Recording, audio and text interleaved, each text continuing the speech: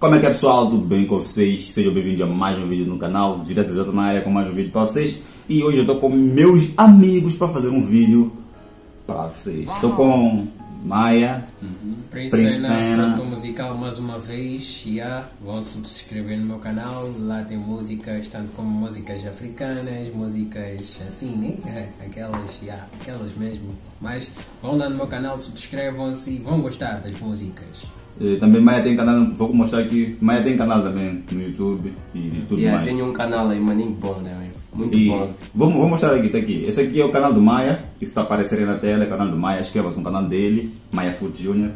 É... Mas já estou para mudar de conteúdo agora. Vai mudar de conteúdo, então.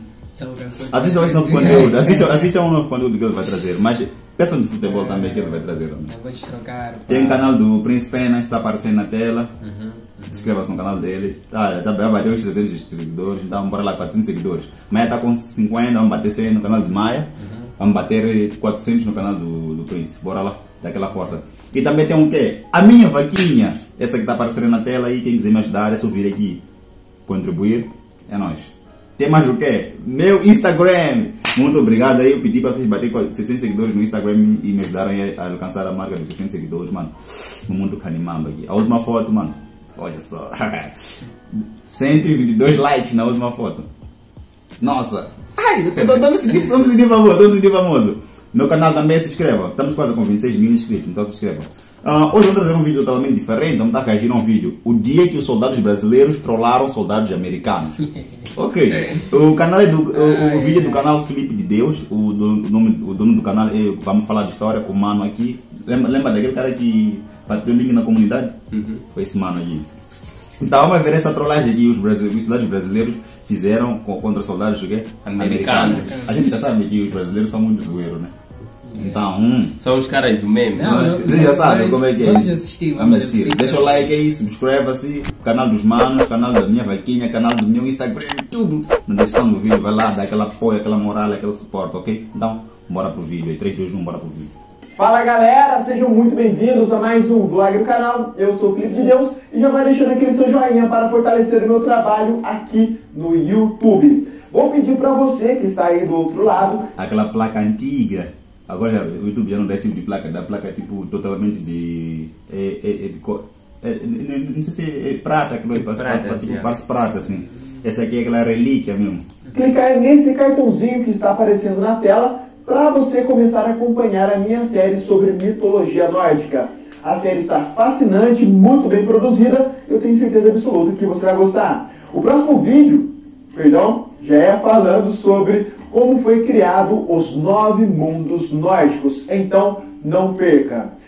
Em algum momento da sua vida, provavelmente você já ouviu falar de algum acontecimento histórico que nunca teve a veracidade comprovada. A história mundial é repleta desses acontecimentos que tornaram as coisas um pouco mais interessantes pelo fato de levantar a questão da dúvida. Será que realmente aconteceu ou será que é só apenas mais uma lenda? Ao longo das inúmeras batalhas épicas que o mundo vivenciou, era muito comum os soldados narrando seus feitos heróicos, dando aquela leve exageração. Até dava música. Tipo, uh, os feitos de, dos caras antigos faziam música com ele, né? Só para agradar o tempo de batalha. Estavam aí na, nas trincheiras, aí começavam a tocar aqueles beats de histórias que já, já, que, que já, aconteceram. Que já aconteceram, mas tocavam e cantavam ah, Para servir de motivação. Para servir de motivação, tipo de coisa assim. Isso é bem legal. Né? Legal. Para dar aquela moral entre os amigos. O que aconteceu foi que muitas dessas histórias acabaram sobrevivendo ao tempo. Hoje eu vou contar para vocês uma história que teria acontecido durante a Segunda Guerra Mundial na Itália envolvendo soldados brasileiros e americanos. Se isso aconteceu ou se isso é apenas mais uma lenda de guerra, talvez nunca saberemos. Quando o Brasil declarou guerra às forças do eixo, os soldados da Força Expedicionária Brasileira viajaram até o território europeu para combater os alemães na campanha. Isso foi na Segunda Guerra Mundial. Eu basicamente eu já, já sei a, história toda, então vou tentar resumir para os meus amigos. Uhum. Uh, quando o Brasil viajou para a Itália, é tipo quando a gente sabe de Hitler, não né, tinha essa nazismo na Segunda uhum. Guerra Mundial, uhum. então o Brasil foi como auxiliar, ia, ia ajudar, mandou cerca de 25 mil homens Ajudar o Brasil ou... Era para ajudar, tipo, o quê? Já que era aliado dos Estados Unidos, então o Brasil mandou cerca de 25 mil homens, que era chamado de, é de FEB, FEB, Força Expedicionária Brasileira, que é FEB. Então foram mandados para lá para, para, o quê? para combater na Itália. Por isso que eles chamam, que, que, que foram para lá. Esses são, são esses soldados da que foram soldados aliados. Não sei como se chama, mas são esses caras que É foram isso, lá. ali- é uma aliança. é da Itália, soldados brasileiros, norte-americanos, canadenses e até mesmo ingleses dividiam todo o mesmo território.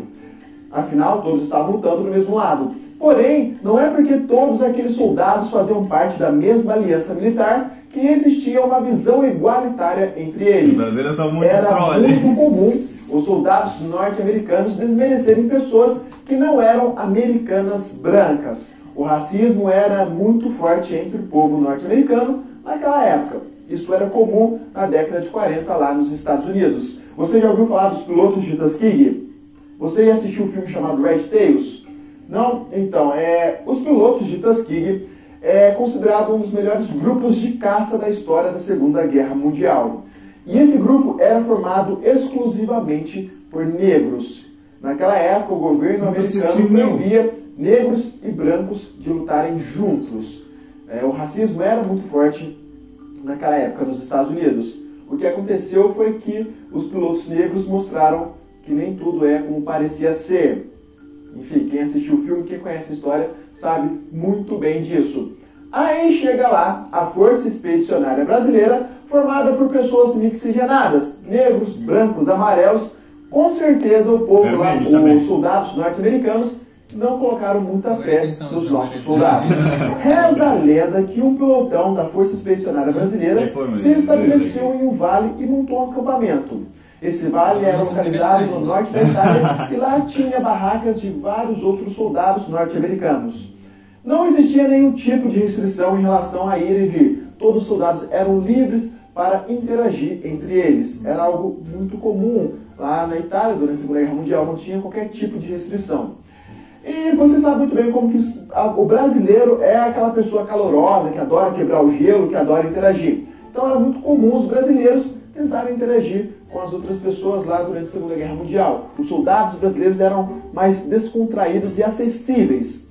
No entanto, os nossos soldados começaram a perceber que alguns itens estavam simplesmente desaparecendo de, de suas barracas. Itens como alimentos enlatados, munições, cobertores e outras coisas estavam simplesmente sumindo. Os cozinheiros responsáveis pelas barracas dos soldados brasileiros já tinham avisado o comandante de que tinha visto grupinhos de soldados norte-americanos rodeando lá as barracas. Então, o comandante brasileiro, humildemente sabendo qual era a sua posição lá no meio dos outros soldados, se deslocou até as barracas dos oficiais norte-americanos e convocou uma reunião para poder tentar entender o que estava acontecendo. O comandante brasileiro teve a seguinte resposta após explicar que as coisas nas barracas dos nossos soldados estavam desaparecendo. Isso aqui é uma guerra, não é um colégio. Meus homens estão tensos, estressados e precisam extravasar seus instintos. Vocês que aprendam a cuidar dos seus próprios materiais. E pronto. Pode ir embora, está dispensado e a reunião está encerrada. O comandante brasileiro então retornou ao seu pelotão e explicou toda a situação para os nossos soldados. O, inclusive, teria resmungado o seguinte: essas são as regras? Então não há regras aqui. O que acontece, pessoal, é o seguinte: em questão de hierarquia, na Segunda Guerra Mundial, os soldados brasileiros estavam obviamente abaixo dos soldados norte-americanos. Não tinha como, Tendo em conta que na época que, que o Brasil mandou os soldados lá, tipo, no, a- as forças, as forças, tipo, o exército brasileiro não era tão bem constituído, assim. Os caras de, os 25 mil homens foram para lá, não era tipo, literalmente soldados, né? Tipo, soldados tipo, com treinamento, aquela experiência toda. Então, por isso quando fui para lá foi coisa, foi, tipo, existe aquela... Tipo, você quando você vai no sítio, né? Quando você tem, experi- quando você tem experiência, fica no topo. Quando você não tem muita experiência, fica o quê? Abaixo do quê? Abaixo, de, de, de, de pessoas que você não sabe. Então, por isso que hoje em dia já é diferente. O exército brasileiro é bem gigantesco, é maior, né? um, um comandante brasileiro impor uma ordem aos oficiais norte-americanos. No entanto, os nossos soldados brasileiros souberam muito bem usar o sistema contra o próprio sistema. Os dias foram Gostei dessa. eh, ele foi para lá, tipo, o comandante foi para lá, perguntou, tipo, não há regras, né? Ah, muitos soldados de extravasar. Só que os brasileiros são muito, são muito trolls, né? Você não pode, tipo, dizer, ah, não. É, é como você vai num sítio, você pode ser o cara- o cara que mexe muito, né? O cara que mexe muito. Mas você vai num lugar, você tem o quê? Relaxar, tipo, ser um gajo maneiro, maneiro, o que que é, para mostrar outro comportamento. Aí quando você vê outro nigga, outra pessoa já mexe muito, já, o que você vai fazer? Você também vai entrar na onda, tá vendo? Realmente. Passando, os dias foram passando e algumas coisas das tropas norte-americanas também começaram a sumir. Chegou um certo dia, os mesmos oficiais norte-americanos se deslocaram para a barraca do comandante brasileiro com uma postura mais simples e humilde e disseram o seguinte: Olha, meus amigos, é, em relação à comida, munições, cobertores, me desculpe, finge que nada aconteceu, tudo bem, em relação a isso, está tudo esquecido. Mas, por favor, nos devolvam o nosso tanque de guerra. É isso mesmo que você está ouvindo. Um tanque Sherman dos Estados Unidos simplesmente sumiu naquele acampamento e dias depois dos oficiais norte-americanos irem às barracas dos comandantes brasileiros, esse tanque apareceu misteriosamente em um canto lá isolado no acampamento. Essa foi a trollagem dos soldados brasileiros com os soldados americanos. Se isso aconteceu ou se é uma lenda, nunca saberemos. Mano, gostei dessa. Grande trollagem, grande. Tinha que levar os biquínis do comandante e deixar lá no. A roupa toda. Tem que levar a roupa toda. Olha o que, pessoal. Se inscreva no canal do Felipe aí, ok? É, eu quero. É bom dia. Man- Manja bem nas histórias, mano. Deixa o like aí, subscreva, se inscreva no canal do, do mano aqui, Maia Food Jr., É isso, pessoal. Se inscreve. Príncipe Pena. Pena. Inscrevam-se lá, dão aquela moral aí para os manos aqui, ok? E não esqueça também, vamos pegar 26 mil aqui no, no canal do mano aqui, ok? Tá faltando, tá faltando quanto? Tá faltando uns, uns 70 inscritos, talvez? Peraí. É por aí, né? Vaquinha do meu canal, está aí. Espero que tenha gostado do vídeo, se gostou. Deixa nos comentários aí se acha real a história, se tiver uma mitologia, uma trollagem que os brasileiros fizeram, aí deixa nos comentários, bora lá. Vou ficar de contar histórias aí, aí nos comentários, ok? Deixa like, subscreva-se, é nóis. Até a próxima.